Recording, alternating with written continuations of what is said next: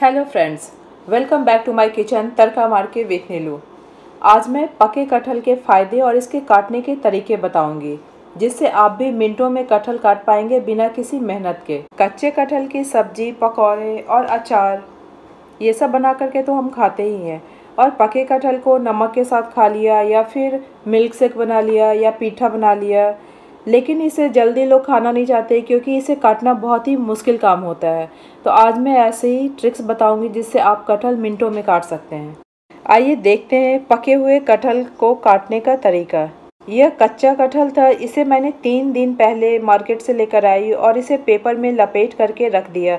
अब ये पूरी तरह से पक चुका है और इसके टेस्ट करने का तरीका ये है कि इसके ऊपर हल्के हाथों से अगर प्रेस करके देखें, हल्का सा दबा करके देखें तो ये प्रेस हो रहा है और ये बिल्कुल इसका जो ऊपर का पोर्सन है वो सॉफ्ट हो गया है।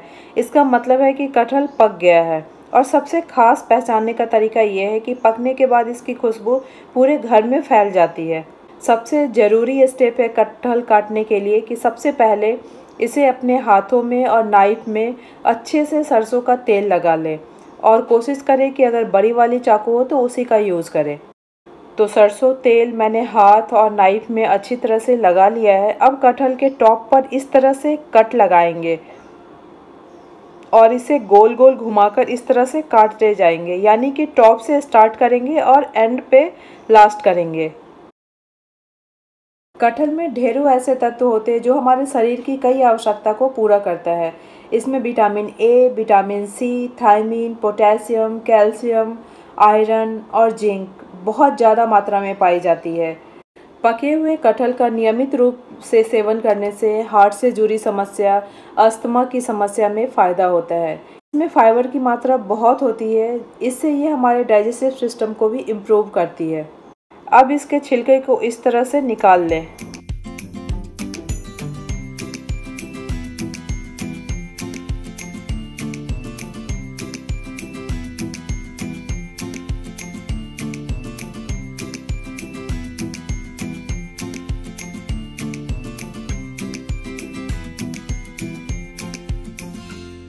अभी देखिए कितना अच्छा लग रहा है। इसके फल को निकालें और इन्जॉय करें।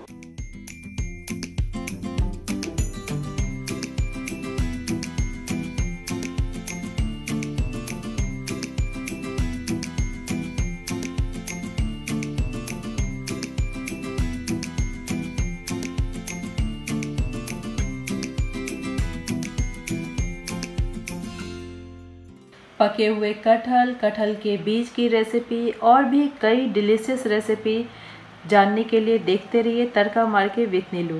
और अगर हाँ मेरे चैनल पे नए हैं तो मेरे चैनल को प्लीज़ प्लीज़ सब्सक्राइब कर ले। फ्रेंड्स आपसे एक अपील करना चाहूँगी कि यूट्यूब पर जाकर मेरे चैनल तड़का मार के विथ नीलू को सब्सक्राइब करें बेल आइकन को दबाएँ और कमेंट बॉक्स में जाकर अपने फीडबैक शेयर करें और बताएँ कि आपको रेसिपी कैसी लगती है।